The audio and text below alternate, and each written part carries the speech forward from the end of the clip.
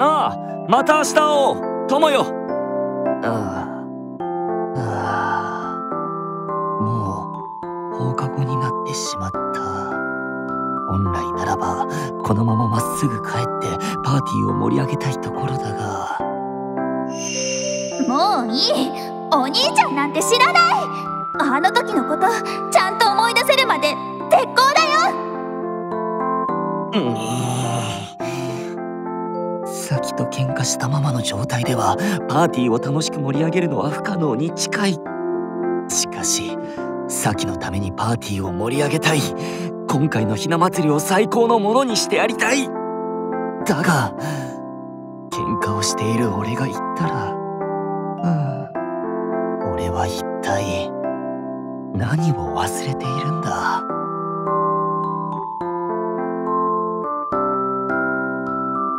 校門まで来たがどうしたものか。そういえば今日は世界でもひな祭りパーティーをやると言っていたな。行く当てが決まらないならばそちらの手伝いをした方がいいかもしれないな。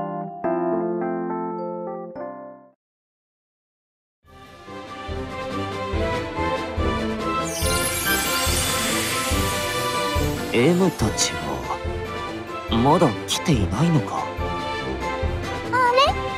司くんああミクか。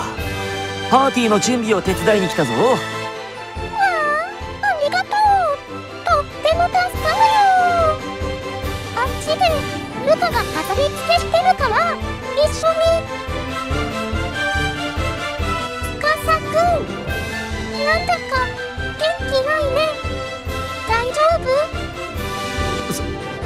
んなことはないぞ。俺はいつでも順風満帆栄養満点。ルカを手伝えばいいんだったな。行ってくる。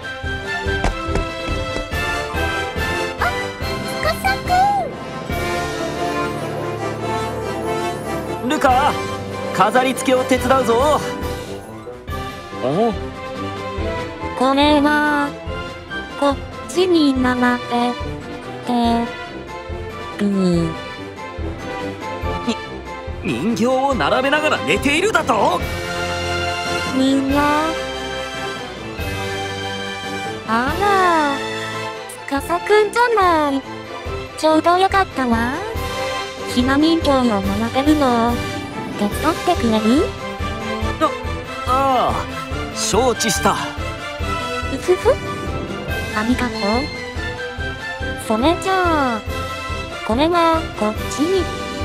なあそれは三人勘定だから上から2段目に置くんだその人形は島台を持っているから真ん中だなあら、そうなのね。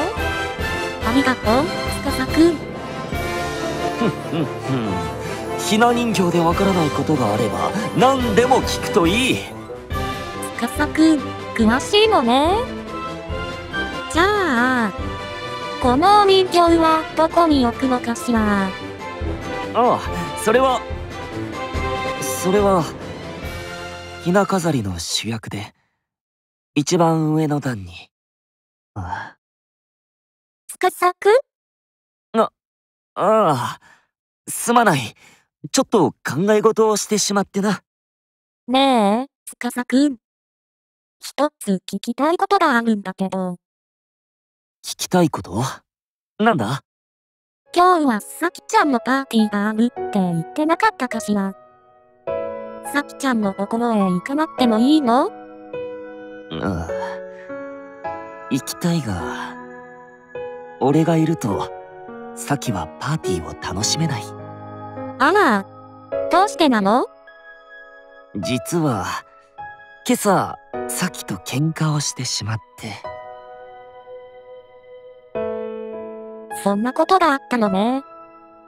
ボロボロの人形なんて嫌だろうと思っていたのに。なぜサキは？ああ。このまま帰ってはまたサキを怒らせてしまうな。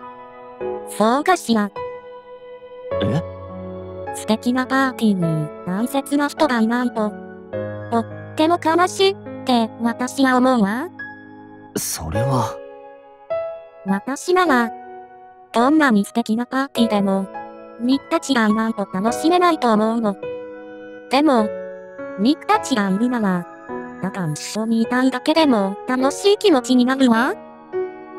だからきっと、さっちゃんのパーティーにも、つかさくんが必要だと思うわ。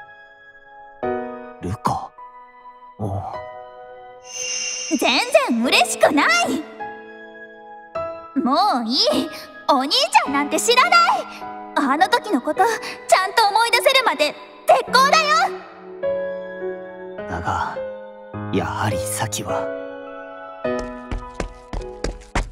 あやっぱりここにいた。お？ねねじゃないか。どうしたんだ？そんなに急いで。望月さんが校門で待ってる。何か急用みたいだから早く行ってあげて。ほなみが休養ままさかさっきの身に何かあったんじゃ？すまんルカ飾り付けの途中だが。いいのよ。さきちゃんと仲直りできるといいわね。ああ相談に乗ってくれたこと感謝する。さらばだ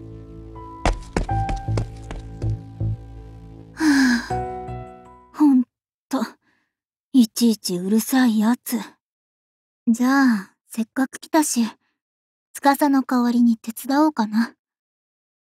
ルカさんどこを飾り付ければ？うー。ね寝てる。あ司さん！ほほなみささきは無事なのか？ううるさあお落ち着いてください。これが落ち着いていられるか？ほなみがわざわざここまで来たということは先に何かあったんだろう。えっと確かにさきちゃんのことなんですけど。やはり一体何があったんだ？えっと今朝司さんと喧嘩したことでさきちゃんがとても落ち込んでいるんです。何？サキが落ち込んでいる？おおサキは？俺に怒っているんじゃないのか？さきちゃんもう怒ってなんかないですよ。司さんにひどいこと言っちゃったってしょげてました。それに今日のパーティーも司さんが来なかったらどうしようって不安に思ってるみたいなんです。サキが不安になって落ち込んで俺は俺はサキを笑顔にしたいと思っていたくせに一体何を？いや後悔は後だ。俺には行くべき場所がある。